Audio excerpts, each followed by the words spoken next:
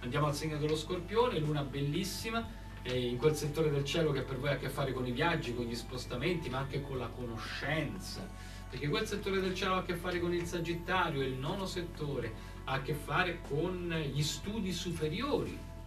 e quindi la possibilità di eh, ampliare eh, quello che è il nostro bagaglio anche culturale, come? Attraverso eh, anche un viaggio, attraverso una nuova esperienza lavorativa, attraverso eh, anche un eh, eh corso di specializzazione, eh, un corso da fare all'estero, magari eh, come si chiama questi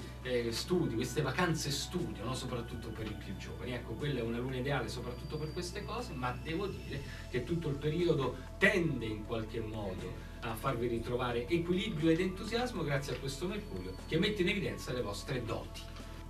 Bene, allora